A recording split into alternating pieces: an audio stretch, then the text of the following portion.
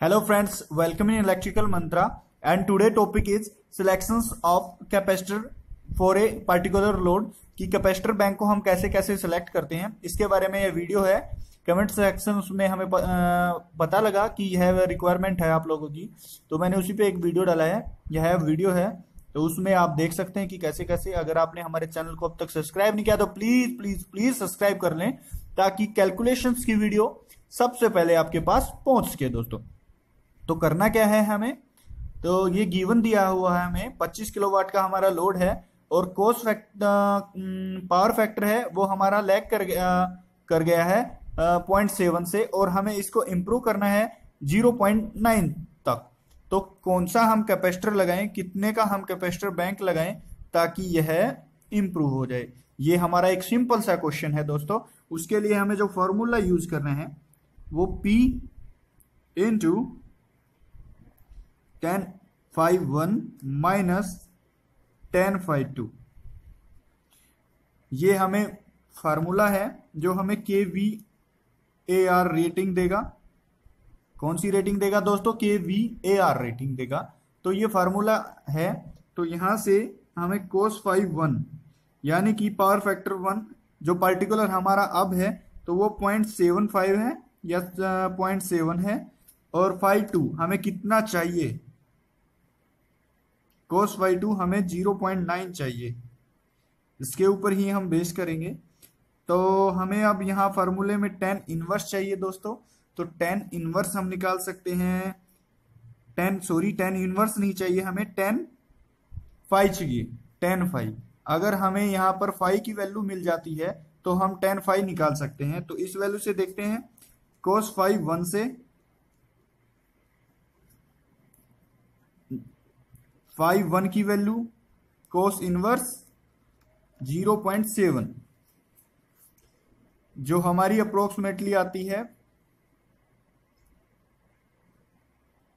ये value four one point four one calculation video छोटी करने के लिए मैंने कैलकुलेशन दोस्तों पहले से करके रखा है।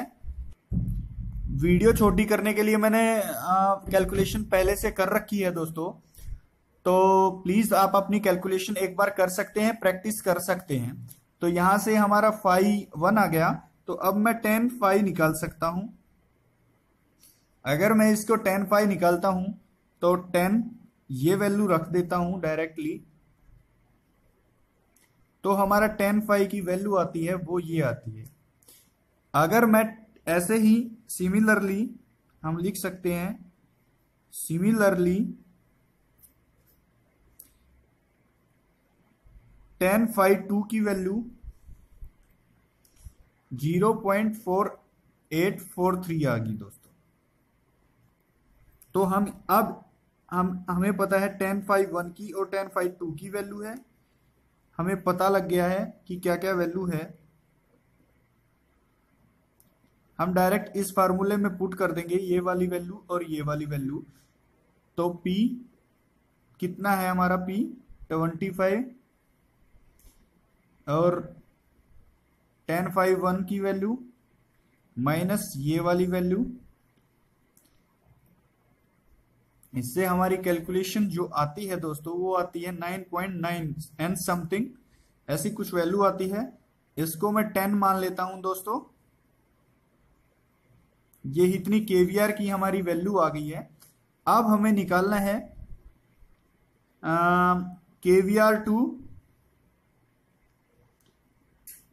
केवीआर की वैल्यू अगर आए, ये हाइयर रेटिंग होती है। मतलब हाई रेटिंग होती है। अगर हमें माइक्रो फेराड में निकालनी है तो हम वो भी निकाल सकते हैं। उसके लिए क्या कैलकुलेशन करनी है?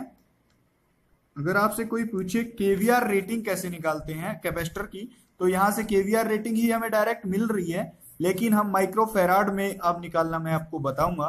माइक्रो फेराड में कैसे निकालते हैं?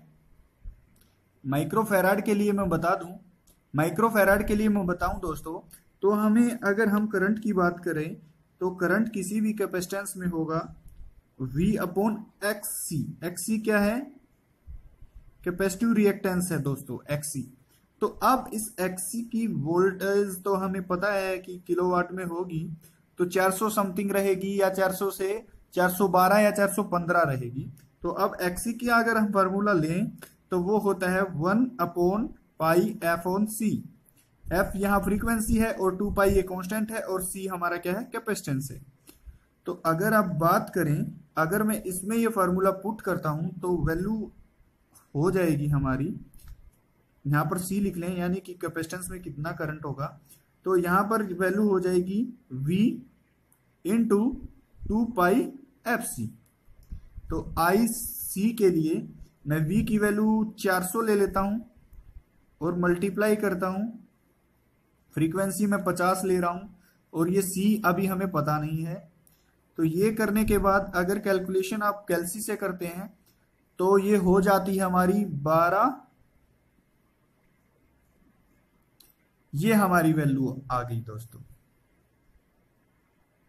अब ये वैल्यू हमारी आ गई और केवीआर की वैल्यू आई थी कुछ हमारी पीछे 10 आई थी। ये हम मान लेते हैं केवीआर 10 था। मान क्या लेते हैं? हमने कैलकुलेशन की थी पीछे। और इसके बाद हम करते क्या हैं? हमें पता है के वी ए आर होता है V into I C upon hundred oh sorry thousand ये हमारी वैल्यू होती है। अपनी उसके लिए पर्टिकुलर के वी आर के लिए ये हमारी इक्वेशंस होती है। तो अब करते क्या है? के वी आर के लिए हम ऐसे करते हैं, हमारा जो करंट है, उसकी कुछ वैल्यू है।